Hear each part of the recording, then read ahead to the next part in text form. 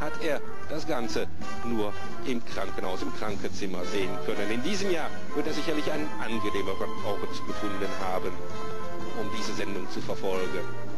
Wir steigen ein im Dritttanz, dem Slow Fox. Die ersten beiden Tänze haben die Titelverteidiger, haben Anastasia und Manfred Stieglitz. Das war mit der Nummer 5 gewonnen.